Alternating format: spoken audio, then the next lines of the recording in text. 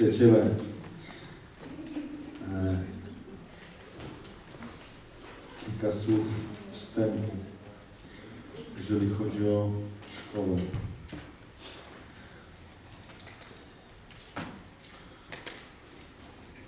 Nie robimy żadnych opłat za szkołę, będziemy tylko zbierać ofiary. Bo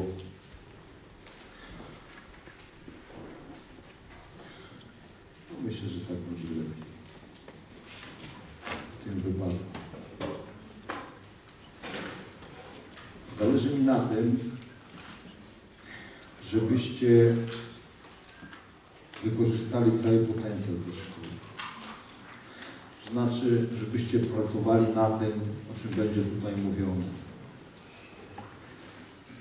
Szkoły będą odbywały się raz w miesiącu. E, I tak jak będzie nam Duch Święty pokazywał, będziemy realizowali ten program. To będzie cały czas fundamentalny program, do wyczerpania.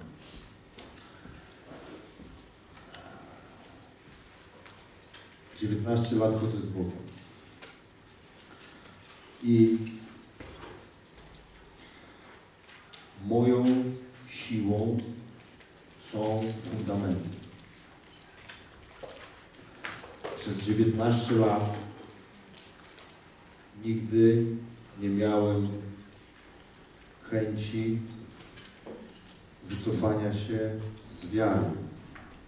Nigdy nie miałem trudnego dnia. Nigdy nie miałem niechęci chrześcijańskiej. Rozumiecie? Nigdy. Nigdy nie zadawałem Bogu też pytań, dlaczego dzieje się coś trudnego. Nigdy takie coś nie pojawiło się w moich modlitwach od początku. Ja sobie zadawałem pytania, dlaczego? Nie dlatego, że ja mam jakiś tam charakter szczególny, bo tak nie jest, ale dlatego, że ja od początku budowałem prawidłowy fundament. Prawidłowy fundament. Naprawdę nasza służba zagadką, ona przez cały czas przesuwa się do przodu, nigdy nie staje w miejscu. Nigdy. Nigdy nie stanęła w miejscu. Nigdy. Nie było przestoju, bo mam tydzień przestoju. Nie. Cały czas jest progres, cały czas jest rozwój. Dzisiaj większość Kościoła nam źle życzy i cały czas jest progres i cały czas jest rozwój. I tyle.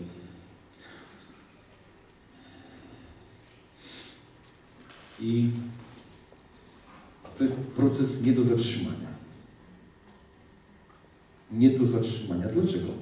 Bo fundament mamy położony prawidłowy. Derek Prince kiedyś powiedział taką rzecz.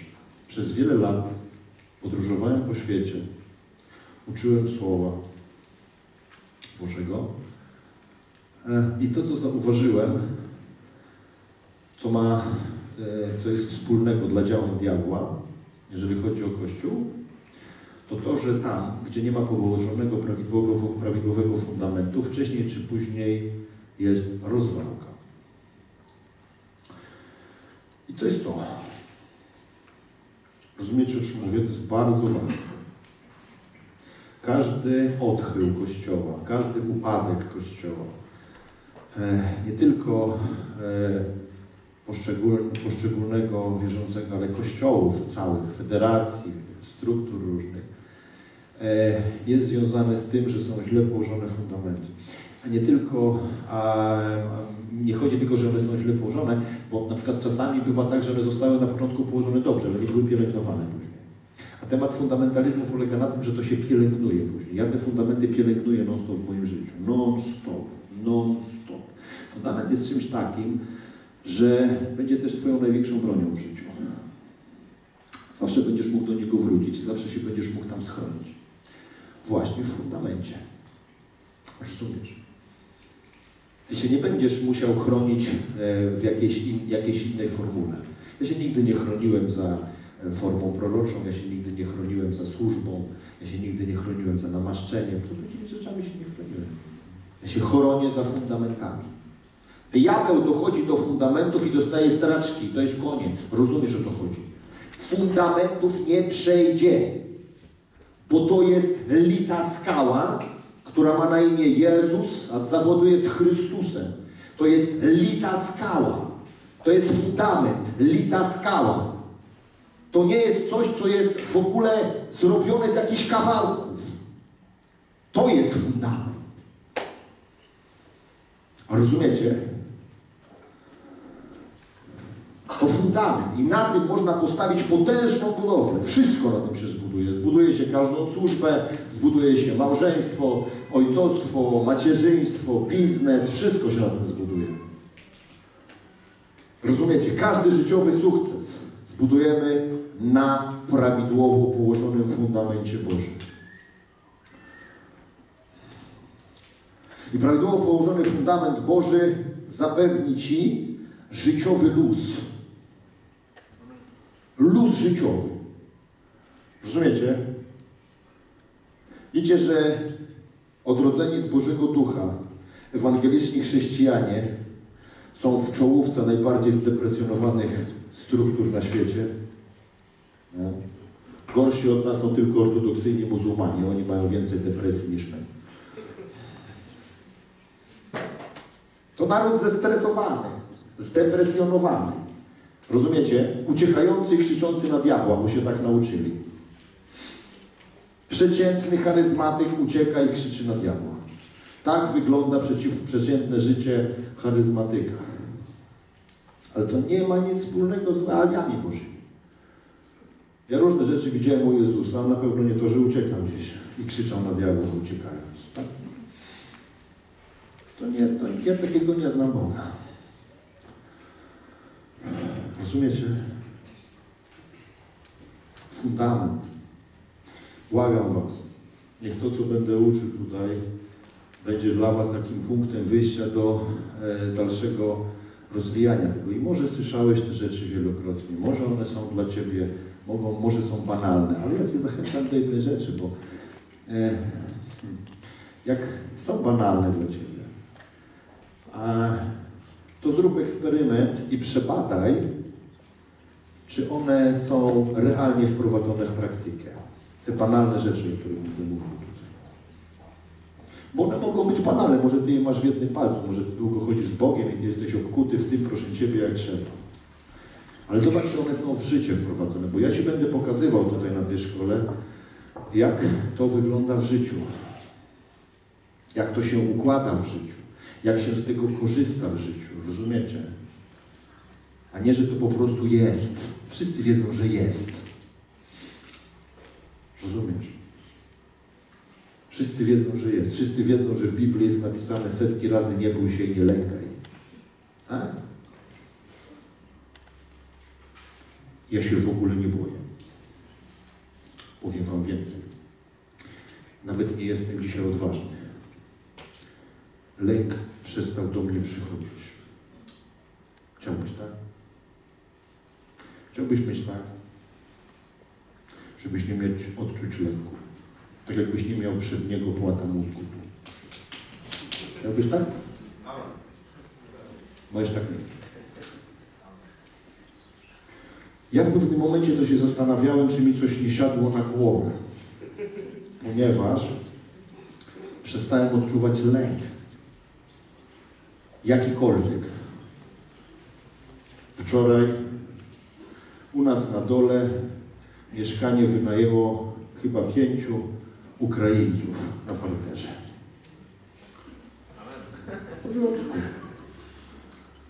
Piją, balują. Mi to nie przeszkadza w ogóle. Ale wczoraj kiedy wróciłem do domu po tygodniu pracy, przebywania tutaj, a przypominam, że piec żyje swoim życiem.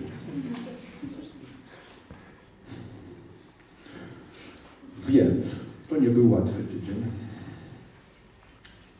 Wróciłem do domu, zacząłem się myć się nawet umyłem. Już. Stoję sobie w spodenkach, ktoś dzwoni, jest 22. Dzwoni ktoś, Sara otworzyła. Drugi raz ktoś dzwoni za 10 minut. Sara drugi raz otworzyła. Trzeci raz ktoś dzwoni. Mówię, nie otwieraj. Wyleciałem z domu, tak jak stałem w tych spodenkach na dół. Otworzyłem drzwi. Ktoś uciekł z tych drzwi już. Tak? Poszedłem na górę, z powrotem. Impreza u Ukraińców jest na, na, na całego metra. Poszedłem na górę, dzwonek do drzwi. Z powrotem lecę, walę do nich. Cisza. Po cichu otwierają. Ja mówię, kolego, kto dzwoni do mnie w nocy tutaj? A oni stoją w pięciu, takie chłopy, wiesz. My, to nie my. Mówi, jakieś kobiety były chyba. Mówię, ale to my je wypędziliśmy, to naprawdę w ogóle. Ja mówię, panowie, jest bardzo ważna sprawa. Przycisk na górze z numerem 15, tak? Nie służy do tego, żeby sprawdzać, czy płynie prąd. Okej? Okej. O co chodzi? We mnie przestał funkcjonować jakikolwiek lęk. Przed kimkolwiek i przed czymkolwiek. Dlaczego? Bo jestem zbudowany na fundamentach. Nie przeraża mnie diabeł, nie przeraża mnie człowiek, nie przeraża mnie nic. Nie boję się Boga, rozumiesz? Normalnie, jak trzeba. Wiesz, jak pięknie jest tak żyć? Wiesz, jak pięknie jest rano wstać i być sobą, być szczęśliwym, mieć w głowie świętą pustkę, nie mieć biegu myśli, nie martwić się o dzień jutrzejszy, nie zastanawiać się, co będzie, żyć wiarą dziś. Wiesz, jak pięknie? Mieć poukładane odczucia, prawidłowo czuć.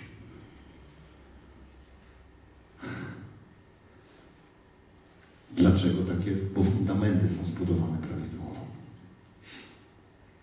Tak można żyć. Wyobrażacie to sobie?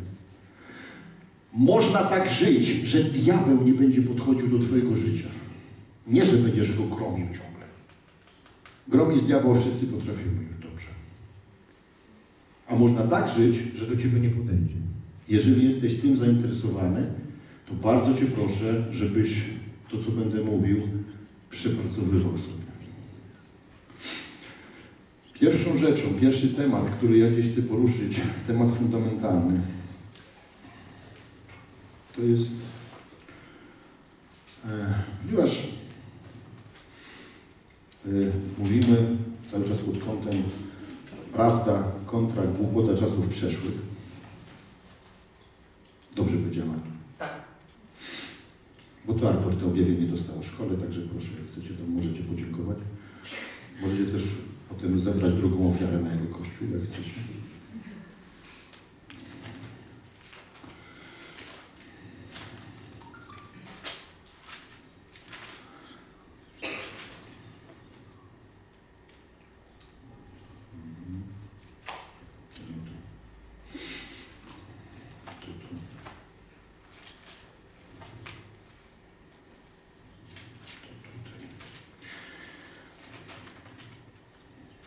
Chciał, żebyście, jak macie Biblię, spojrzeli w Ewangelię Jana 1,17.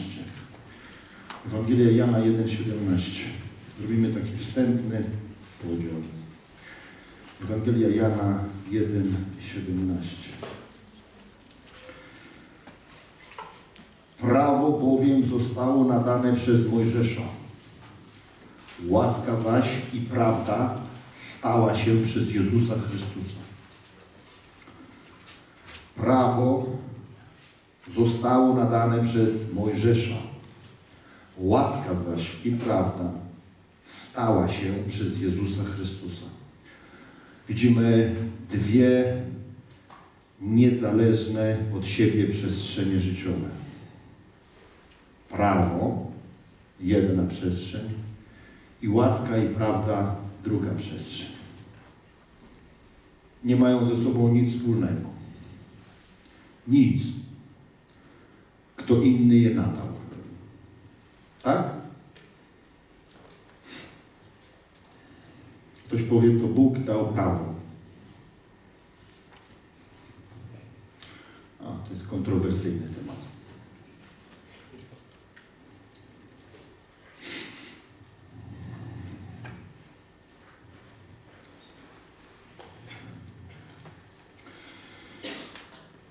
Mojżesz jest człowiekiem. Amen. Jezus jest Bogiem. Dlaczego jest taki podział zrobiony? Czemu to jest tak pokazane? Pokazane jest to tak dlatego, że prawo jest natury ludzkiej. Mimo, że Bóg był jego autorem. Ale zostało ono skonstruowane przez Boga w ten sposób, aby dotyczyło natury ludzkiej. Ono zostało zrobione z materiału, w cudzysłowie, ziemskiego. Zaś łaska i prawda są natury boskiej i zostały zrobione z materiału niebiańskiego. To zupełnie inne dwie przestrzenie. I będziemy przede wszystkim robili sobie bardzo poważny podział między tym, czym jest funkcjonowanie pod jakąkolwiek formą prawa i czym jest funkcjonowanie w nadanej łasce i prawdzie.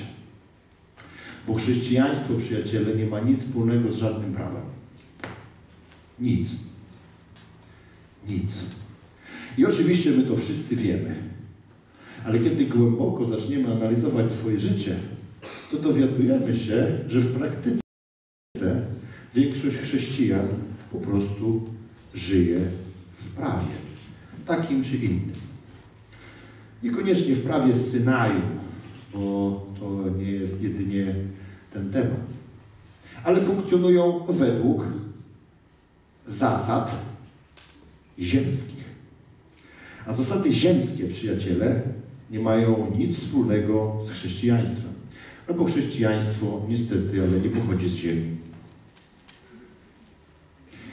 I fundamentem jest to, aby przebudować swoje wnętrze w ten sposób, aby funkcjonować w łasce i w prawdzie, a nie w żadnym prawie. Rozumiecie? W żadnym prawie. I to jest bardzo niebezpieczna rzecz, że nie jest się pod żadnym prawem. Nie jest się pod prawem boskim, pod prawem ludzkim, rozumiecie, pod prawem diabelskim, pod żadnym. Wiecie, co to znaczy? To znaczy, że chrześcijanin to postać zupełnie bezprawna. Totalnie. Nic go nie obowiązuje. I to jest bardzo niebezpieczne myślenie. I to myślenie jest mega piętnowane. Ponieważ, jak się już dowiedzieliście z waszej historii życiowej, wszyscy o tym głoszą, natomiast praktyka jest zupełnie inna. Wchodzicie w jakąkolwiek enklawę chrześcijańską i od razu się dowiadujecie, jak należy żyć. Jesteście poinformowani. Dostajecie określone prawa, zasady, obowiązki. I mówią wam podprogowo, że żyjąc w ten sposób osiągniecie sukces. Tak? Mówi się, co należy, co nie należy. Ja kocham takie wypowiedzi różne e, Jezusa. Na przykład, kiedy przychodzi ktoś do Niego, a przychodzą poborcy podatku i mówią, przychodzi Piotr i mówi do Niego tak, Panie, przyszli poborcy podatku. A Jezus siedzi i mówi tak, jak myślisz Piotrze, ja kocham tego filozofię Jezusowe. Jak myślisz Piotrze, czy synowie królestwa winni płacić podatki, czy nie? To są takie dobre pytania do Kościoła. Czy synowie królestwa powinni płacić podatki, czy nie? No i to zawsze, zazwyczaj jest milczenie. Nie! Do urzędu skarbowego. Czemu płacimy podatki? Wiecie czemu? Bo jesteśmy pragmatyczni. Nie chcemy, żeby nas do pierdla zamknęli. Tak? Bo żyjemy na skażonej przez diabła ziemi. Podatków, bo powinniśmy płacić podatki. Tak? Bo synowie królestwa co? Nie płacą. Są wolni. Proste. To zro- Zrozumiesz, że w jakieś się kontrowersje zaczyna wchodzić. I to jest to. I to jest różnica między teorią a praktyką. Że ja płacę podatki nie dlatego, tak, że ja mam przekonanie od Boga. Nie dlatego, że mi jakiś kaznodzieja powiedział, że trzeba płacić podatki. Tylko płacę podatki dlatego, bo jestem cwaniak niebiański. Płacę, żeby mnie zamknęli. Biorę dobrą księgową i chcę im płacić jak najmniej, bo ten bezbożny świat spłonie w ogniu. Razem ze wszystkimi urzędami skarbowymi. Taki dzień przyjdzie, bo tak jest napisane w tej starej książce. Tak? A chrześcijanin ma wbite w głowę na przykład, że on musi. Jak nie będzie płacił, to go Bóg zastrona, tak? No i koniec. Tu trzeba zrozumieć, co to znaczy, że prawo zostało nadane przez Mojżesza, łaska zaś i prawda stały się. To słowo stały się to jest mocne słowo. Zaistniały w stanie doskonałym na wieczność. To te słowo to oznacza. Czyli w sposób doskonały zeszły na ziemię i w sposób doskonały funkcjonują na ziemi. Rozumiecie? To jest to. Jest wielka różnica między teorią a praktyką. Pomówmy troszeczkę o prawie. Galacjan, trzeci rozdział. Galacjan, trzeci rozdział.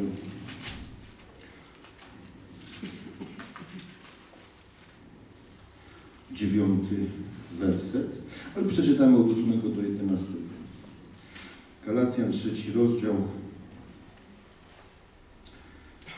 Od 8 do 11. A pismo, które powiedziało, że Bóg z wiary usprawiedliwia pogan, uprzednio zapowiedziało Abrahamowi, w Tobie będą błogosławione wszystkie narody. Tak więc ci, którzy są ludźmi wiary, dostępują błogosławieństwa z wierzącym Abrahamem. Bo wszyscy, którzy polegają na uczynkach prawa, są pod przekleństwem. Napisano bowiem przeklęty każdy, kto nie wytrwa w pełnieniu wszystkiego, co jest napisane w Księdze Prawa. I tam jest napisane 630 przepisów, których nawet wszyscy nie znamy. A że przez prawo nikt nie zostaje usprawiedliwiony przed Bogiem, to rzecz oczywista, bo sprawiedliwy z wiary żyć będzie. Dziewiąty werset nas najbardziej interesuje. Tak więc ci, którzy są ludźmi wiary, dostępują błogosławieństwa z wierzącym Abrahamem. Tylko ludzie wiary dostępują błogosławieństwa, a ludzie wiary to są ludzie, tak, którzy nie funkcjonują w systemie prawa. Po prostu. To jest różnica. Pokażę Wam różne aspekty prawa. Kończy ktoś studia, e, dostaje tytuł, zaczyna działać w swojej branży, staje się kimś istotnym, ważnym, zaczyna zarabiać, tworzy się jego historia e, i tworzy się w pewnym sensie pewnego rodzaju jego siła. W jego podświadomości powstaje przestrzeń. Skończyłem studia, jestem utalentowany.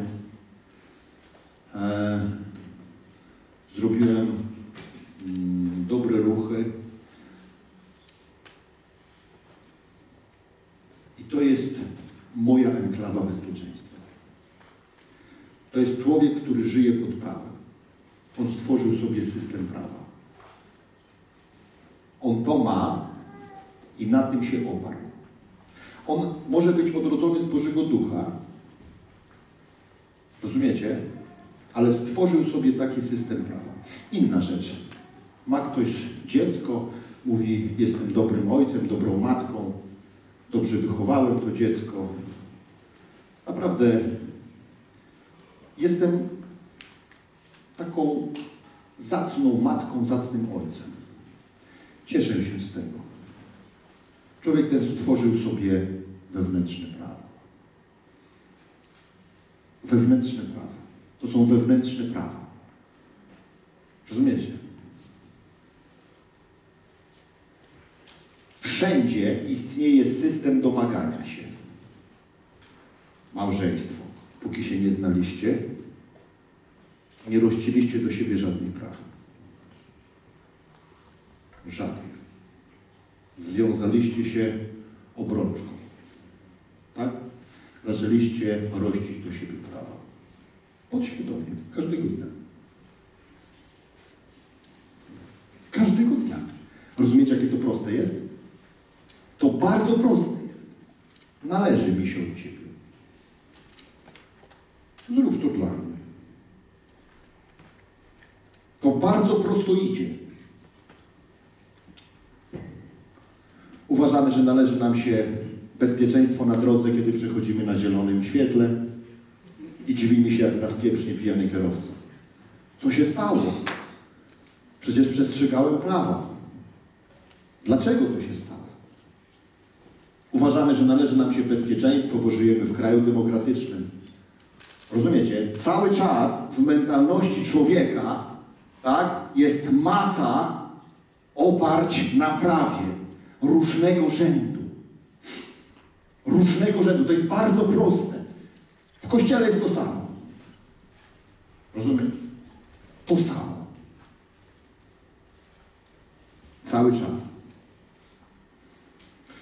Dla ludzi stało to się normalną sprawą.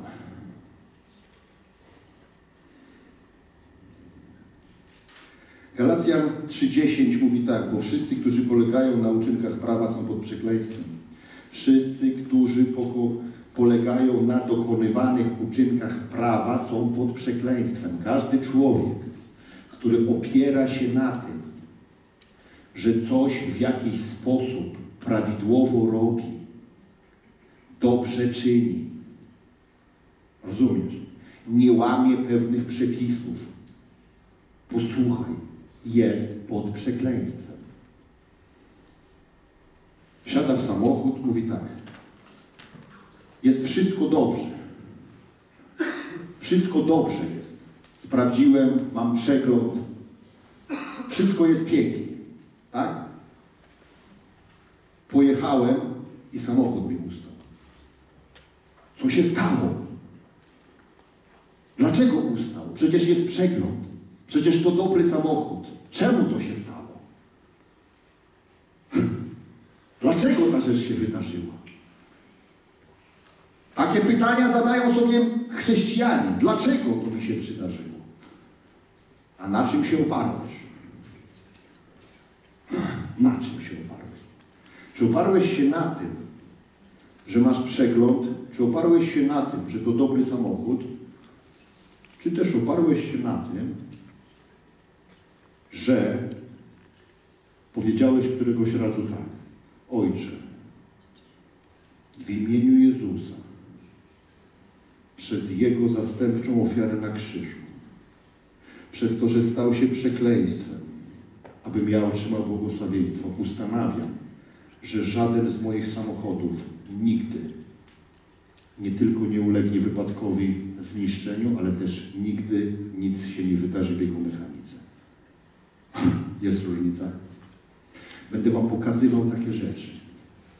Subtelne rzeczy, które pomogą Wam uniknąć bardzo wielu problemów, bo każdy, kto opiera się na prawie, jest pod przekleństwem. Rozumiecie? Ja jak lecę gdzieś samolotem, nie opieram się na tym, że tam jest wykwalifikowany pilot, że ten samolot został zbudowany przez fachowców. Nie. Ja wsiadam do samolotu ja mówię tak, w imieniu Jezusa ten samolot będzie leciał ze mną na pokładzie do końca w pięknym stylu. Pięknie wystartuje, pięknie poleci, pięknie wyląduje. Dlaczego? Bo ja to ustanawiam. Dlaczego ja to mogę ustanowić? Bo Jezus Chrystus stał się przekleństwem, aby odziedziczył błogosławieństwo Abrahamowe. Widzicie subtelną różnicę? Wielka sprawa. Ludzie odnoszą klęski, bo są pod prawem. Funkcjonują w mentalności prawa. Galacjan 3:11. A że przez prawo nikt nie zostaje usprawiedliwiony przed Bogiem, to rzecz oczywista. Bo sprawiedliwy z wiary żyć. Funkcjonowanie na podstawie zaufania. Jezus przyniósł łaskę i prawdę, które wymagają zaufania. Życie chrześcijanina to życie zaufania Bogu, a nie życie opierające się na jakiejkolwiek formule prawa. Ja nie potrzebuję pasów i zielonego światła, żeby mnie nie uderzył samochód, rozumiesz mnie? Ja mogę przejść przez trzypasmową autostradę, bo jestem pod łaską. Ale kiedy pod prawem będę przechodził przez pasy, to może być kąk. Choć będzie zielone światło i czterech policjantów z boku. Bo, bo każdy, kto opiera się na prawie, jest przeklęty. W takiej czy innej dziedzinie. Nie chodzi, że on jest globalnie przeklęty, bo do nie o to chodzi. On jakby nie korzysta z formuły błogosławieństwa. Mnie ludzie pytają, jakim sposobem robisz to, co robisz. Masz 8 lat szkoły podstawowej, 10 lat więzienia, byłeś w grupach przestępczych, trzy razy umierałeś od kokainy. Dlaczego w ogóle cię ludzie słuchają? Ja mówię, cud. A wszyscy mądrzejsi są ode mnie, co mnie słuchają. Mają lepsze wykształcenie, lepszy stan życiowy, lepiej w głowie poukładane. A mnie słuchają. Cholera jasna. Wiecie, co to jest? Łaska i prawda. Ja się w ogóle nie nadaję, żeby mnie słuchać. Ja nie mam żadnego kredytu zaufania. Ja nie posiadam nic. Ja mam 36 tatuaży i nic poza tym. Rozumiesz? Nic poza tym nie posiadam.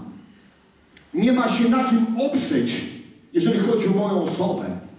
Ale ja wziąłem Słowo Boże i powiedziałem tak, Boże, dziękuję Ci, że na jedno moje słowo będą mi posłuszni ludzie, bo tak mówi psalm. Ja wierzę w psalm, a nie w swoją przeszłość. Ja wierzę w psalm, a nie w moje możliwości. Ja wierzę w psalm, a nie w moją moralność. W to wierzę. Rozumiecie? Bo przeczytałem, że sprawiedliwy mój z wiary żyć będzie, a nie z uczynków. I nie opieram się na żadnym prawie. Na żadnym prawie. Ludzie mówią, jakie, dlaczego ty masz taki wgląd w to? Tak? Ja mówię, bo ja wierzę, że mam wgląd. Jaką szkołę skończyłeś biblijną? Nie żadnej. Od razu zaczęliśmy prowadzić. Jak pierwszą szkołę, jak pierwszą szkołę zagadką zaczęliśmy prowadzić, jak poszedłem do takiego pastora i mówię do niego, ty daj mi skrypty, bo chciałbym prowadzić szkołę. Mówię, chyba chciałbyś chodzić do mojej szkoły. Ja mówię, nie chcę chodzić do twojej szkoły. Chcę, żebyś mi dał skrypty twojej szkoły, a ja tą szkołę poprowadzę u nas. On mówi, jeszcze mi się takie coś nie przydarzyło dał nam skrypty. Koniec. Rozumiesz? Chcę, żebyś bardzo poważnie to zrozumiał. To jest, bardzo, to jest mega fundamentalna rzecz. My wszyscy wiemy, że jesteśmy w łasce, a nie pod prawem. Tak? Ale praktyka to jest ogromna różnica. W ogóle to jest taka różnica, że szok. Ludzie automatycznie działają pod prawem. Automatycznie. To jest w nich takie automatyczne, jak to, że się ręka skina. Wiesz? Takie proste jest zadziałać pod prawem. Taka prosta historia. Bardzo łatwo to zrobić.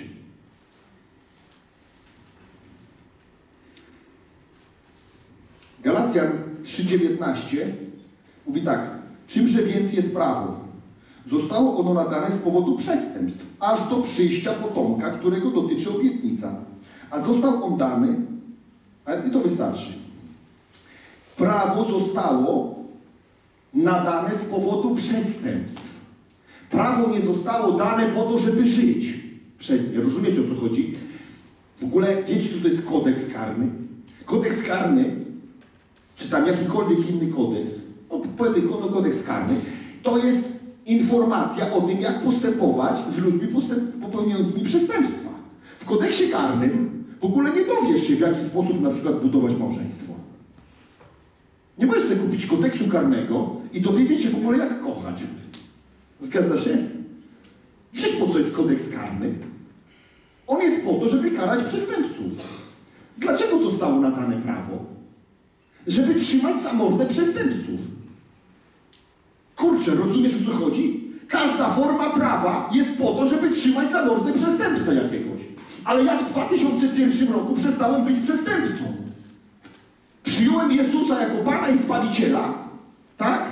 I przestałem być kim? Przestępcą. Stałem się człowiekiem wolnym. A zatem nie interesuje mnie kodeks. Co mnie kodeks? Powiedz. Co mnie nie zabijaj, nie cudzołóż, nie kradnij. Za zabijanie tyle, za cudzołóstwo tyle, za kradzież tyle. Nie interesuje mnie to. Bo ja nie przestępca. Czemu ja się mam tym? Czemu ja mam w ogóle myśleć o kodeksie? Rozumiesz? Ludzie się modlą, odrodzeni z Bożego Ducha i mówią, Panie, pomóż mi być, na przykład nie kraść, nie cudzołożyć, wiesz, pomóż mi. Przecież tak się modli przestępca. To przestępca tak się modli, wiesz. Psychol. No tak się nie modli. No człowiek w ogóle, który nie jest przestępcą, w ogóle nie myśli o przestępczości. Na przykład jak rozmawiam z ludźmi, którzy nie mieli nic wspólnego z przestępczością, to jak ja do nich czasem coś powiem, takiego, co jest związane z przestępczością, oni się na mnie patrzą, rozumiesz, jak komornik szafem mnie oglądają. Mówi, co ty gadasz? Ja mówię, no tak, no. A on mówi, to jest możliwe? Tak. Ty do głowy mi to nie przyszło. Ja mówię, a widzisz. Ale bo, bo on jest w ogóle, to, bo to nie przestępca. On nigdy nie miał takich myśli. Rozumiesz, o co chodzi? Zawsze uważał, że na przykład, ja nie wiem, no, że, że no, no, no, nie wiem, no, że łapka na przykład to służy do wyjmowania gwoździ, a nie do obrywania kłódek w sklepach. No kurde, takie miał całe życie, no patrzy, łapka leży w sklepie, wiesz o co chodzi, bo ten wchodzi do sklepu, normalny człowiek widzi łapkę, tak? O, łapka. Bierze tą łapkę, to do gwoździa się tym wyrywa, tak? Wchodzi złodziej, wiesz co widzi? Patrzy jaka jest łapka i która do jakiej kłódki pasuje. No to złodziej. On inaczej widzi to urządzenie. Rozumiesz? Bo ma przestępczy umysł. To psychopatyczny umysł, nie? Przecież ja widzę, jak kupę chrześcijan w ogóle staje w takich miejscach i mówisz, Panie Boże, jestem psychopatą nadal. Potrzebuję, Panie Boże, takiego, takiej w ogóle o, otoczki w ogóle prawa w moim życiu, żebym wiedział, jak chodzić, żebym się nie pomylił. Powiedz mi, Boże, jak mam chodzić. W ogóle te teksty, poprowadź mnie, Panie Boże, poprowadź mnie. Wiesz o co chodzi? Jestem debilem, poprowadź mnie, Panie Boże, poprowadź, poprowadź mnie. Tu daj mi ramkę, tu mi pokaż, pokaż, gdzie krążek mam postawić. Wiesz o co chodzi? A Bóg się patrzy i mówi, o co ci chodzi? Ty możesz chodzić gdzie chcesz, jak chcesz. Wiesz o co chodzi? No w ogóle, no jak poprowadź mnie? Daj mi, Panie, sposób na życie. Wiesz, daj mi kodeks jakiś. Troszkę praw. Zasad, reguł, metod. Daj mi, Boże, troszkę prawa. Może nie wszystkie te przepisy, ale ciut, ciut. Ciut moralności. Rozumiesz? Żeby mnie tu dołożył. Ciut. Szok. Takie modlitwy władują człowieka pod przekleństwo. Rozumiesz? Tak jakby wolny człowiek. Przyszedł człowiek, który nigdy nie popełnił przestępstwa, przyszedł do sądu i powiedział, proszę łagodny wymiar kary. Ale chrześcijanie tak robią, tak się modlą, tak podchodzą do rzeczy. Rozumiesz? Ludzie pragną ramy. Ludzie ramy pragną. Jak nie mają ramy, to się źle czują. Wolność ich przeraża. Wszyscy mówią wolność, wolność, wolność. Rozumiesz o co chodzi? Ale kiedy wchodzą w wolność, to robią krok do tyłu i mówią troszeczkę prawa jednak. Odrobinkę. Ja tak nie mogę tutaj skakać. A co ja tutaj będę robił? No co chcesz możesz robić? Ale to powiedz mi, gdzie mam iść? Gdzie chcesz? A jak zbłądzę? Jak masz zbłądzić? Czy masz Ducha Świętego? W ogóle za kogo ty się uważasz? Kim ty jesteś? Ale on dalej swoje. Panie, poprowadź. Panie, daj mi słowo. Rozumiesz? Panie, co mogę zrobić, a czego nie mogę zrobić? Rozumiesz? Robią potem coś, klęczą, pokutują, przepraszają, kajają się. Wiesz o co chodzi? Potem ich znów to ciągnie. Nie wiedzą o co chodzi. Tam wie wyjdź spod prawa. Ustal raz na zawsze, że jesteś człowiekiem bez prawa. I że jakakolwiek myśl na temat jakiejkolwiek formy prawa przynosi przekleństwo. Jakiejkolwiek formy prawa. Galacjan 3, 21, 22 mówi tak, czy więc prawo jest przeciwko obietnicom Bożym? Bynajmniej. Gdyby bowiem nie zostało nadane prawo, które Aha. Gdyby bowiem zostało nadane prawo, które może ożywić, usprawiedliwienie by było z prawa. Lecz Pismo głosi, że wszystko poddane jest grzechowi, aby to, co było obiecane, było na podstawie wiary w Jezusa Chrystusa tym, którzy wierzą. Nie można zasłużyć na nic. Pokazać Ci kolejny element prawa? Robisz coś dobrego wobec drugiego człowieka i natychmiast podprogowo w Tobie powstaje, wiesz co? powinien być mi wdzięczny. No jak to? Przecież dla niego miły, czemu on jest niemiły? Już powstało prawo. Przecież jestem uczciwy, czemu on jest nieuczciwy? Jesteśmy jacyś wobec człowieka i w sposób automatyczny żądamy tego, aby był też Boga wobec nas taki.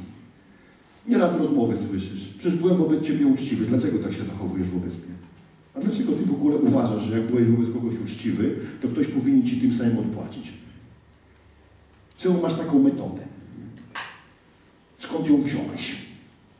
Powiedzieć ci skąd? Z tego kartonika o nazwie prawo. I wiesz, co teraz się dzieje z tobą w tym momencie, kiedy żądasz od niego, aby też był taki jak ty wobec niego? Ładujesz się pod przekleństwo! Już twój rozwój się zatrzymał. Już zablokowałeś relacje.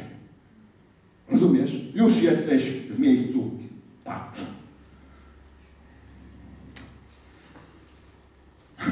Rozumiesz? Dlatego Słowo Boże jest jasne i klarowne. Pożyczajcie i nie oczekujcie, że ktoś wam odda. To jest antyprawo. Kocham antyprawo. Kocham takie rzeczy. Rozumiesz? Pożyczajcie i nie spodziewajcie się, że ktoś wam odda. Dobrem za zło odpłacajcie. Wiesz co to jest? Antyprawo.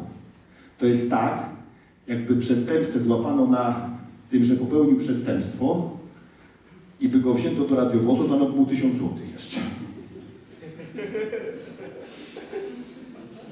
To cholerna niesprawiedliwość, prawda? Posłuchajcie, łaska jest niesprawiedliwa. Słyszycie mnie? To bardzo niesprawiedliwe jest. W wieku 17 lat zamordowałem człowieka, który osierodził sześcioro dzieci. I nie mam żadnych wyrzutów sumienia. I w dodatku idę do nieba. Cholernie niesprawiedliwe, tak? Powinienem wisieć. Wisieć. Produkowałem masę narkotyków. Tak? Które sprzedawaliśmy dzieciom. A dzisiaj idę do nieba. Bardzo niesprawiedliwe. Gdzie tu prawo? Bóg jest bezprawny. bezprawny. Taki jest Bóg. Nie ma Boga prawa. Nie ma takiego Boga. Taki Bóg nie istnieje. Nie ma takiego Boga. Każdemu według zasług. Bóg to nie jest komunista. Bardzo ważna informacja. Rozumiecie? Nie ma każdemu według zasług. Bóg daje to, co się nie należy. Życie chrześcijanina to życie w tym, co mu się nie należy. To cieszenie się tym, na co nie zasłużył. To korzystanie z tego, na co nie zapracował. Rozumiecie? Czy was nie kują w oczy takie teksty, na przykład do was należeć będą skarby Egiptu? Dostaniecie to, na co nie zasłużyliście. To kujące strasznie. W ogóle Bóg to On jako taka humanistyczna postać to w ogóle jest mega niesprawiedliwa postać. Mega niesprawiedliwa. Kiedyś głoszę Ewangelię na ulicy, podchodzi do mnie facet, mówi ja na wszystko musiałem ciężko zapracować. Ja mówię, bardzo mi przykro. Cóż mogę ci powiedzieć? Sorry, no. A ja nie. Ja kocham taki tekst Pawłowy, jak Pawła, Paweł to był dopiero cwaniak niebiański człowiek, chcieli go tam strasznie zlać. W pewnym momencie Rzymianom go oddali i on mówi tak, już go ten Rzymianin tam w ogóle chce lać, a ten mówi, będziesz bił obywatela rzymskiego?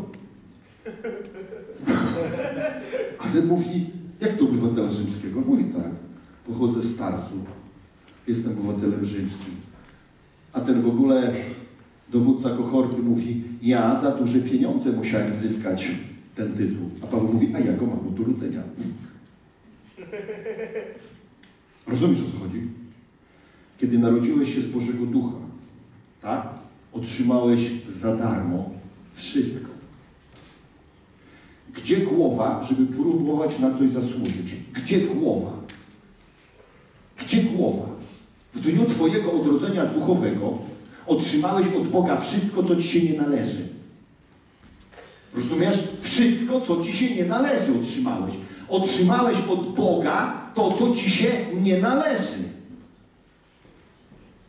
Na poziomie ducha, duszy i ciała. Gdzie głowa, żeby mieć mentalność zasługiwania na cokolwiek lub na kogokolwiek? Ludzie budują relacje między sobą na podstawie, wiecie czego? Prawa. Na podstawie prawa budują relacje. Ok? Chcę, żebyście to dostrzegli. Przez cały czas, tak? Żądają czegoś w zamian. Żądają w zamian. To jest takie, to jest tak skonstruowane. Bo prawo jest głęboko zakorzenione w duszach ludzkich. Fundamentem jest wywalenie z siebie każdej formy prawa. I to musi być na poziomie mentalnym. Trzeba przyjść do Boga i powiedzieć, Panie Boże, ja na nic nie zasługuję. I od dzisiejszego dnia chcę, żebyś mi pomógł w tym, abym na nic nigdy nie zasługiwał. W niczym i w żadnej relacji. Pomóż mi, Duchu Święty, być bezprawnym. Proszę Cię, nie módl się, żeby Ci pomógł być porządnym człowiekiem. Nie módl się, żeby pomógł Ci być uczciwym. Przestań. Dlaczego chcesz koniecznie posiadać jakiś aspekt prawdy w sobie? Czemu chcesz mieć coś, tak? czym będziesz mógł zaświecić ludziom oczy powiedzieć, mam to. Taki jestem. Jestem zdolny, jestem ładny, słodki, wiotki i powabny. Coś mam. Wiesz o co chodzi? Zwróć na to uwagę. Nie wolno w ten sposób, bo się wchodzi pod przekleństwo. Zatrzymuje się wzrost człowieka. Ludzie, wiele rzeczy w życiu chrześcijanina nie wychodzi dlatego, że chrześcijanin siedzi pod prawem, jest zablokowany, zasługuje, usiłuje, stara się. To mu nie wychodzi. Dochodzi do takiej ściany i koniec. I mówi, ja już dalej nie pójdę. Nie pójdę dalej w finansach, nie pójdę dalej w rozwoju, nie pójdę dalej w służbie, nie pójdę dalej w relacjach. Doszedłem dotąd i koniec.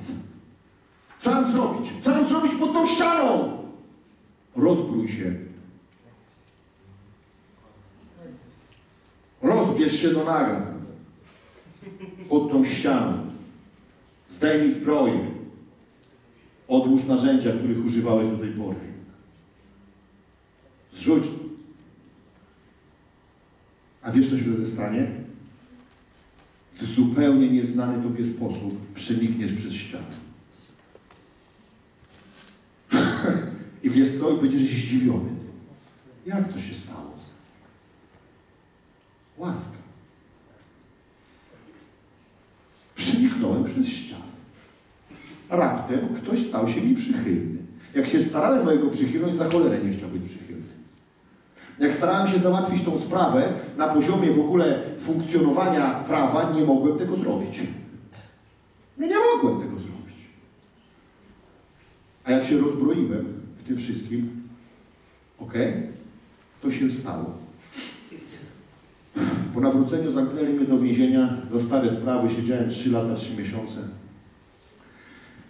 I zaczęły się walić sprawy jedna po drugiej. I tylko się wymieniali. Komenda Główna, Centralne Biuro Śledcze, następna sprawa, następna, następna, jeszcze zeszyt założyłem. Czyli sprawa, sprawa, sprawa, wreszcie patrzę, mówię, pół miliona dolarów mam wyłudzenie. Pół miliona dolarów. Mówię, w ogóle, mówię, siedzę, drapię się w głowę, mówię, Panie Boże, wyjdę chyba jak córka będzie studia kończyć. Nie, nie córka, tylko syn będzie studia kończyć. Mówię, kurczę, szok. Kiedy wyjdę? Mówię, kurczę, adwokata muszę wziąć. No. Mówię, muszę coś z tym zrobić. I czytam sobie w ogóle list do Rzymian. I w ogóle patrzę. Ja mam adwokata. Doszło do mnie, że jedna z nazw Ducha Świętego to Parakletos, adwokat. Ja mówię, mam adwokata. Nie biorę adwokata. Spraw mam po kokardkę. Rozumiesz o co chodzi?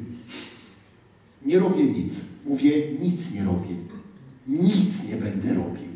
Od tego dnia rozpocząłem moją edukację gry w Scrabble w celi pamiętam. Postanowiłem, że będę najlepszy w gry w Scrabble. Wiecie o co chodzi? Zacząłem grać w Scrabble. Przestałem się interesować tym, co się w ogóle działo. Pisałem listy do, do domu i grałem w Scrabble.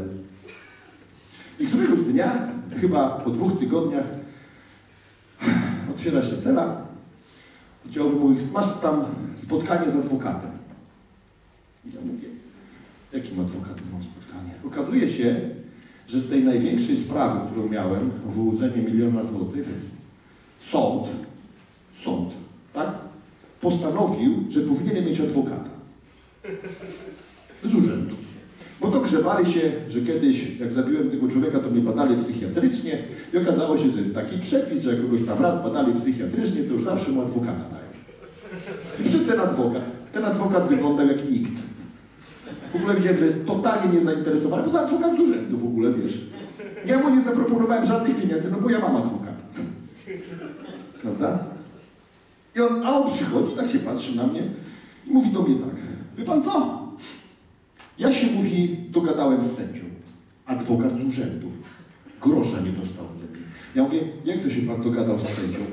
No ja tak sobie pomyślałem, wie pan, młody chłopak, nie? Ja tak pomyślałem, mówi, że mówi, jest ten artykuł o dobrowolnym poddaniu się karze. Ja mówię, przepraszam, mówię panie mecenasie, ja mam udział w zorganizowanej grupie przestępczej, tak? I wyłudzenie miliona złotych. Ja nie siedzę za koło od samochodu. On mówi, y, tak, ale ja o tym rozmawiałem z sędzią i sędzia w ogóle się przychylił do tego. Ja mówię, do czego się przychylił sędzia? No, no wie pan, do dobrowolnego poddania się karze. Ja mówię, ale to pan, no tak, bo ja tak, no to jest ustnie na razie, ale tak złożymy pismo i on to wszystko podpisze i, i nie będzie procesu. Ja mówię, a, a koszta? A on mówi, no bo ja tam też ująłem, żeby, żeby nie było kosztów, mówi dla pana. Ty, ja ze sprawy miliona złotych, słuchajcie, dostałem e, e, rok, nie, co ja dostałem? Już nie pamiętam, co ja dostałem. Dwa lata, dwa lata dostałem wyrok, dwa lata już siedziałem w śledztwie i złotówki do płacenia nie dostałem. I oni się na to zgodzili. Na dwa lata pozbawienia wolności, które już odsiedziałem w areszcie i złotówki do płacenia. I to się odbyło na jednym spotkaniu. Na jednym spotkaniu. Przyszła mi druga sprawa. Wyłudzenie 110 tysięcy dolarów. A ja miałem adwokata. Parakletos się nazywał. I umarł świadek, który mnie łączył z tą sprawą. Umorzyli mi sprawę. W innej sprawie, w innej sprawie uderzył piorun w serwer i wykazywało moje dane. W innej sytuacji ludzie spłacali za mnie długi. Nie wiem, czy mnie rozumiecie. Komornik u mnie w domu był tylko raz w życiu. Przyszedł z taką panią, znaczy z taką uczennicą. Ja powiedziałem, że ja nigdy niczego nie zapłacę. A mówię, jak jeszcze raz pan do mnie przyjdzie, to się zwolnię z pracy i koniec. I on już nie przyszedł do mnie. Nigdy. Rozumiecie? W innym wypadku złożyliśmy wniosek, gdzie już nie pamiętam, jakie też sumy wchodziły w grę, że jestem w stanie płacić po 50 zł miesięcznie, gdzie było 24 zł odsetek dziennie. I oni się na to zgodzili. Dlaczego ja wam o tym mówię? Dlatego, że ja w ogóle, tak, nie myślałem w kategoriach prawa. Bo w kategoriach prawa to ja bym utknął. Popełniłem też wiele przestępstw. Byłem w takim kościele, zachęcano mnie, żebym się przyznawał do wszystkiego. Jak ja bym się do wszystkiego przyznawał, to by nie było tej szkoły dzieci. Żona by mnie znała z was i Norbert. Bo tylko te dwie osoby są, które by mnie znały i by przyjeżdżały pewnie do mnie do więzienia. Rozumiecie? Bym siedział całe życie chyba. Rozumiesz? Ale Bóg, który jest bezprawny, powiedział do mnie tak. Ty się do niczego nie będziesz przyznawał. Ty weź to zostaw, ty załóż Facebooka, ty pokaż swoją twarz, ty daj swój adres i wyluzuj, Celoński, wyluzuj. Żyjesz pod łaską, a nie pod prawem. Nie zasługujesz, tylko luzujesz. To duża rzecz. Rozumiecie? To jest bardzo ważne, co do Was mówię. Są fundamentalne sprawy.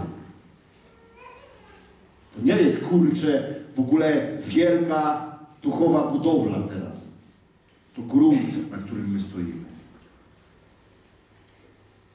To jest życie chrześcijanina. Żadnego prawa. Żadnego prawa. Poruszamy się w tym świecie i tu są uwarunkowania prawne i my się tylko przyglądamy, żeby robić to w ten sposób, tak? Jak nas prowadzi Duch Święty, to jest wszystko. Nie interesuje nas nic poza tym. Tak jak Duch Święty nas prowadzi.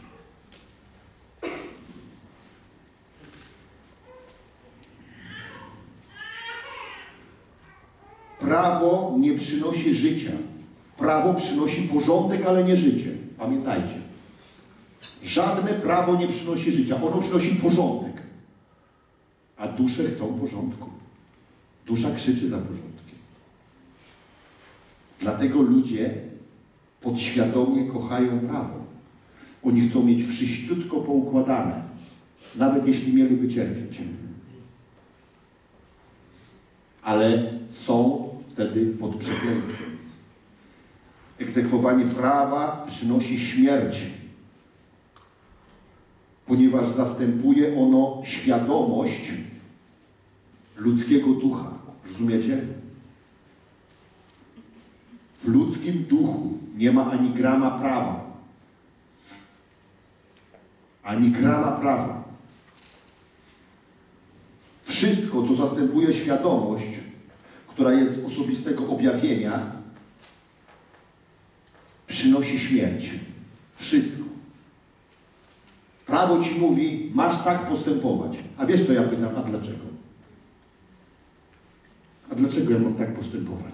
A bo to jest norma społeczna. A ja mówię, ale, ale no to znaczy, że ktoś to ustalił, tak? Tak. Mówię, to dlaczego mam postępować tak, jak ktoś ustalił? Z jakiej przyczyny mam tak zrobić? Przecież to kiedyś ktoś ustalił.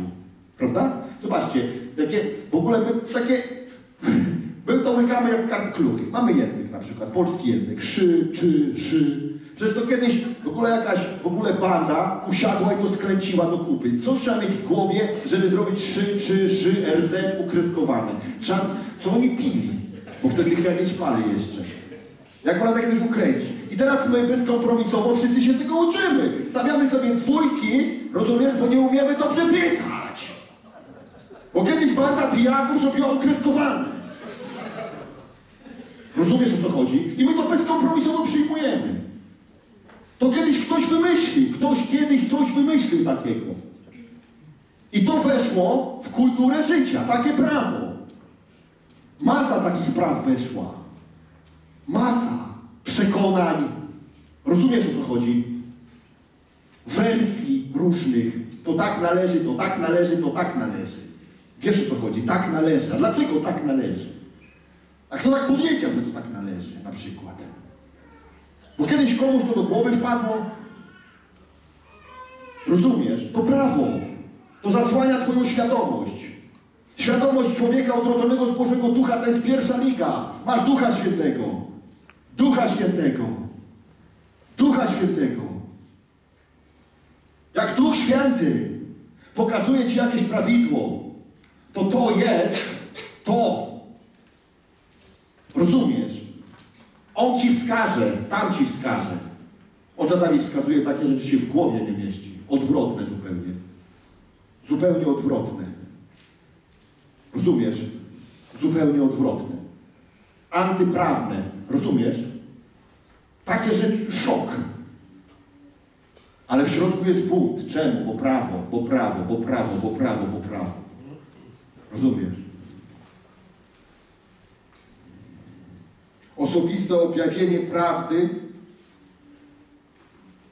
ono jest wynikiem zaufania. Kiedy ja ufam, ja głęboko widzę. Kiedy ja nie ufam, ja muszę przestrzegać prawa. Rozumiesz? Automatycznie. Im bardziej ufasz Bogu, tym mniej prawa w Twoim życiu. To proste.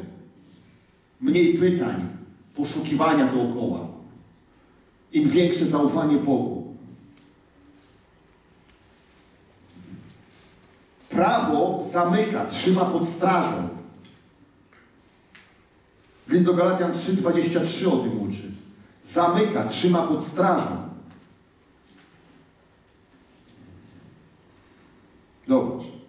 Zanim zaś przyszła wiara, byliśmy wspólnie zamknięci i trzymani pod strażą prawa, dopóki wiara nie została objawiona.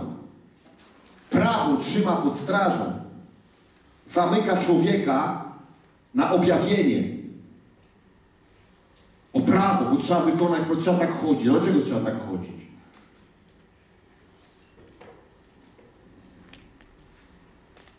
Ludzie mówią, wzbudzasz kontrowersję. Ja mówię, a kto, a, a kto ustalił, że ta wersja, o której mówisz, to jest prawidłowa? Może moja kontra jest prawidłowsza niż twoja wersja.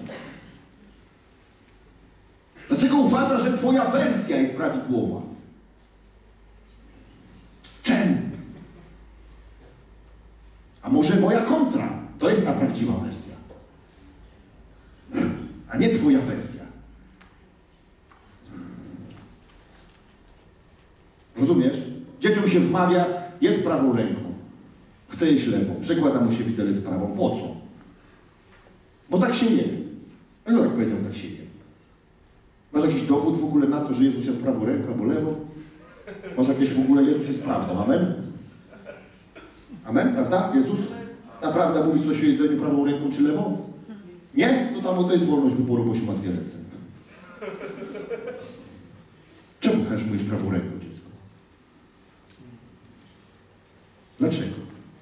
Takie prawo jest. Okej? Zobaczcie, są tylko bardzo małe rzeczy, ale my w nie wchodzimy jak w nóż w masło. Jak nóż w masło. Trzeba tak zrobić. Trzeba tak zrobić. Powinieneś to zrobić, powinieneś tam to zrobić. A dlaczego tak powinienem zrobić? Ale chcę inaczej to zrobić. Ale mam takie objawienie. Wiesz, co jest ważne? Czy to przynosi życie, a nie czy to jest słuszne. Czy życie niesie, a nie czy słuszne. Bo Bóg jest Bogiem życia, a nie Bogiem dobra czy zła. Jedzenie z drzewa dobra, poznania dobra czy zła, to przekleństwo. Nie wolno jeść drzewa poznania dobra i zła. Nie wolno się interesować tym, co dobre czy złe. Nie wolno się w tym grzebać. Bo to śmierć. Tam gadające węże siedzą na tych drzewach.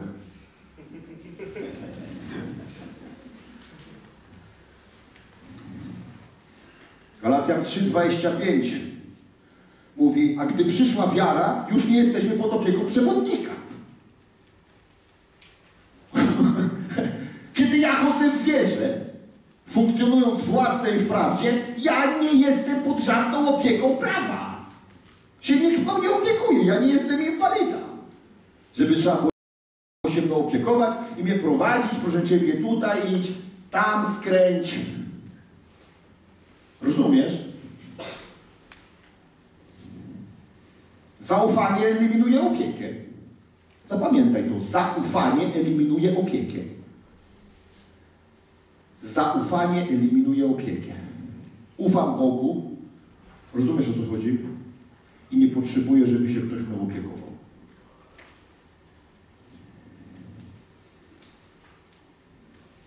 Prawo utrzymuje ludzi w niedojrzałości.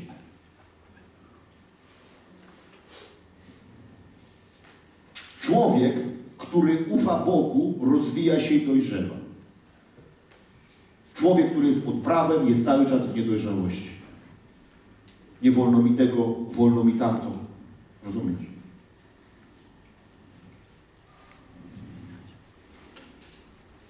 Pamiętaj, nie wolno ci wracać do prawa. Każdy powrót do najdrobniejszego prawa, rozumiesz, to jest dla ciebie strzał w kolano. Strzał w kolano. Ja nawet robię specjalnie różne rzeczy różnie. Ja czasami zauważyłem, że potrafiłem się przyzwyczaić do czegoś. I szybko to się stawało prawem w moim życiu. Wiecie co robię? Przestaję robić te rzeczy. Robię je na opak. Po prostu na opak. Ja na przykład trzymam dietę. Jesteśmy zagadką na diecie, dbamy o nasze zdrowie. Super. Ja jednak wiem, że dieta nie może stać się prawem w moim życiu. Jest normalnie, od czasu do czasu się nażrę.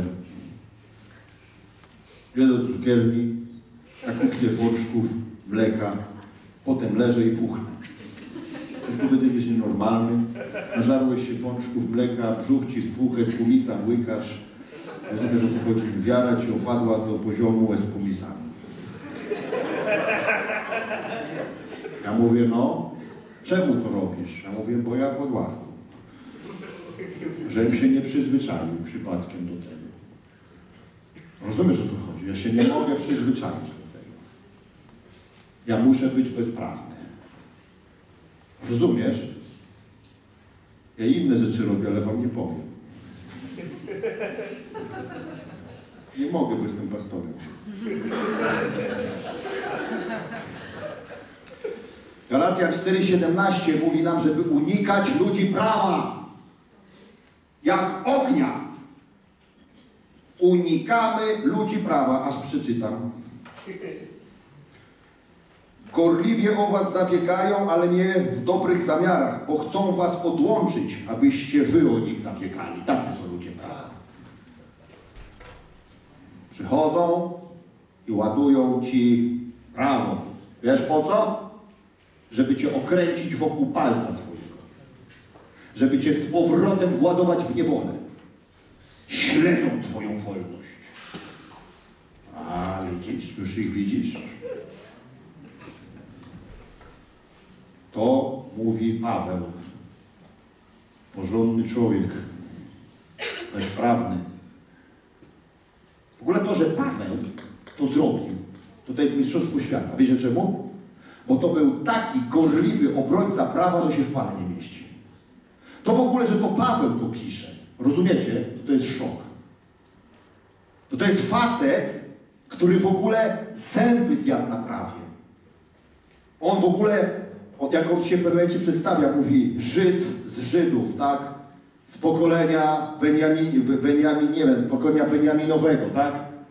Do stronnictwa faryzeusz, tak? Gorliwy w prawie. Gorliwy w prawie. Taki był Paweł. Wiecie, co robił? Wyżynał ludzi w imię prawa. Rozumiesz? Miał na wszystko przepis. Wjeżdżał i ciął. I teraz on przychodzi, tak? On przychodzi. To nie przychodzi jakiś, proszę Ciebie, troglodyta, tylko to przychodzi ktoś, kto siedział w prawie po uszy. I on mówi tak, to był błąd. Byłem w błędzie. Byłem w błędzie. W ogóle to, to było to, że on pod tym prawem był i w tym prawie niszczył ludzi, to była największa trauma Pawłowa w ogóle, wiecie. On w pewnym momencie w ogóle siedzi i mówi, kurczę, jestem najmniejszym wśród apostołów. To trauma była, no, mówi, bo prześladowałem Kościół Boży. To go boli tego faceta do końca, rozumiecie, odchodzi do końca, to w nim kurczę nie gra, nie? Ta rana jest do końca jakaś jeszcze niezaleczona u Pawła. Bo on wiedział, ile przez prawo narobił bałaganu. Nienawidzę prawa. Nienawidzę tego. Nienawidzę religii całej. Wszelkiej formy religii. Rozumiesz? Jak się ta katedra Notre Dame paliła, to cię to krzyczałem, proszę Ciebie, niech się palą wszystkie katedry. No, się jara człowieku to wszystko. Rozumiesz, niech się na łąkach spotykają. Z najświętszym, z najświętszym tym przeklętym sakramentem.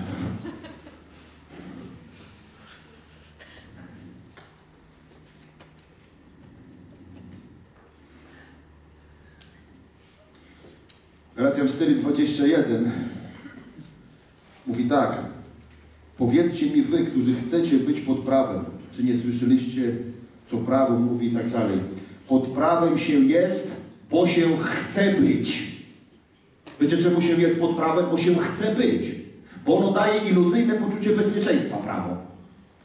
Jak sobie stworzysz ramkę jakąś, to ci bezpiecznie ciepło. O, fajnie no.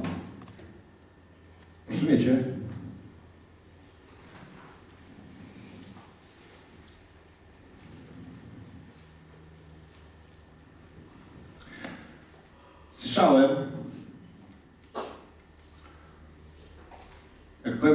Człowiek mówił o swoim śnie.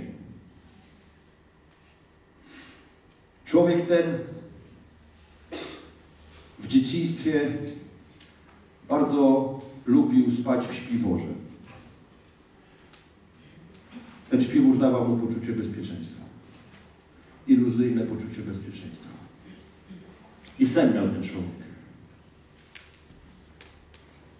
Śniło mu się, że się toczy w tym śpiworze i toczy. I się przytoczył pod bramę cmentarza.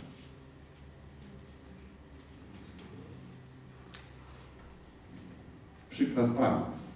Iluzyjne poczucie bezpieczeństwa prowadzi do śmierci. Ramka sprawa jest chciana przez duszę człowieka. Musicie rozumieć, że tu jest niebezpieczeństwo. Rozumiecie to? Bo się prawa chce. To od środka w nas działa. To jedna z najsubtelniejszych, z najbardziej subtelnych działań diabła. Od środka. Stwórz sobie coś sam. A już nie musisz podlegać komuś. Sam sobie stwórz. Stwórz sobie iluzyjne poczucie bezpieczeństwa. Stwórz sobie małe prawo. I siedź w nim do końca życia. Siedź tam.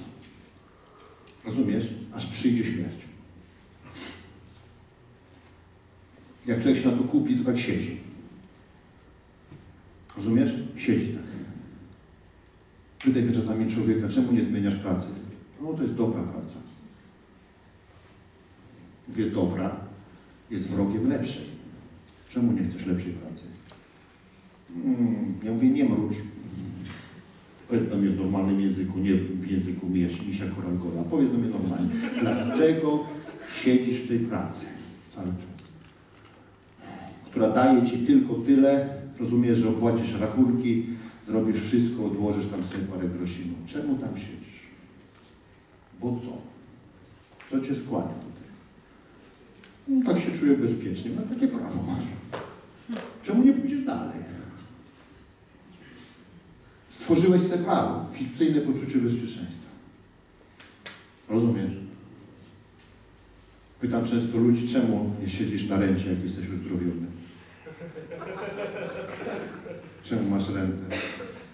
Przecież to Jezus cię zbawił, a nie ZUS. Jest tylko jedna różnica, litera się różni. Ja wiem, się Każdego razu, kiedy podpisujesz się pod to rento, to się podpisujesz pod swoją chorobą. Potem się dziwisz, że cię strzyka z w plecach. To się dziwisz, Bóg mnie uzdrowił, mnie strzyka. Mówię, podpisuj więcej teraz. Co ty myślisz, że to jest różnica między wyznaniem a podpisem? Takie prawo masz. Iluzyjne poczucie bezpieczeństwa ze stworzy. Tak jest wszędzie, ludzie, rozumiecie? Chcemy być pod prawem. To jest w człowieku. Dlatego diabeł nie musi się wcale nastarać.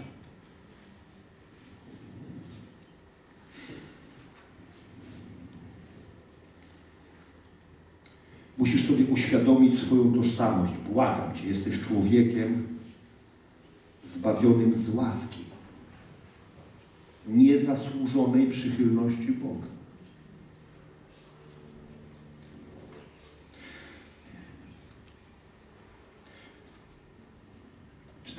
Dziewięć Galacjan mówi Lecz jak on gdzieś ten, który się według ciała narodził, prześladował urodzoną według, ducha, tak i teraz.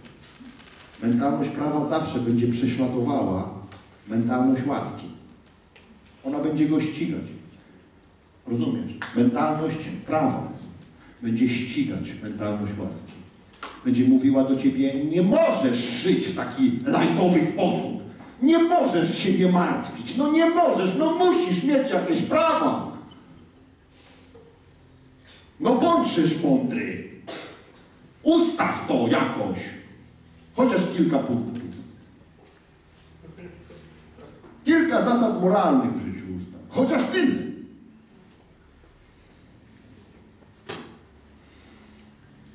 Ale Galacja 4,30 mówi tak. Lecz co mówi Pismo? Wypędź niewolnicę i syna jej. Nie będzie bowiem dziedziczył syn niewolnicy z synem wolnej. To zrób, wypędź. Rozumiesz? Tego. Wiesz, co jest wypędzić? Wypędziłeś kiedyś kogoś? Ja wypędziłem parę osób w życiu. Rozumiesz? Miałem różne sytuacje. w życiu i musiałem komuś powiedzieć, po prostu wyjść. Nie chciał wyjść, mówię, bor, bor! Tak się wypędza. Ale jak się wypędza? Przepraszam bardzo, opresję, czy zechcesz może odejść ode mnie. Tak się wypędza? Wypędza się tak, jakby to coś chciało cię zabić. Jakby coś chciało cię skrzywdzić. Jak wściekły pies chciałby cię ukryć. Tak się wypędza. Wypędź niewolnicę, wypędź niewolnicę razem z jej synem.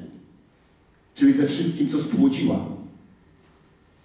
Tak, miałeś kiedyś tym swój udział, ale wypędź to teraz. Jesteś człowiekiem łaski.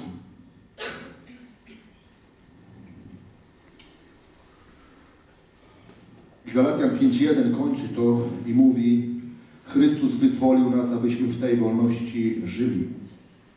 Stójcie więc niezachwianie i nie poddawajcie się znowu pod jarzmo niewoli.